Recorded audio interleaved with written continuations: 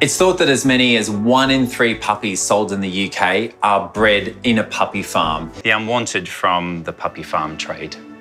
Today is day one of trying to improve these dogs' lives by at least giving them health. Certainly for Rufus, it's about neutering him. And for Nellie, it's about sorting out those horrendous teeth, checking out her heart, and of course, spaying her as well. Now that Rufus' castration has been completed and he is recovering, I now move to Nellie. Now, she has a fairly significant heart murmur, but also she is an older girl. She's been through a lot, so this will be a little bit of a risky anaesthetic. Scott eventually has to remove 16 rotten teeth from the little spaniel.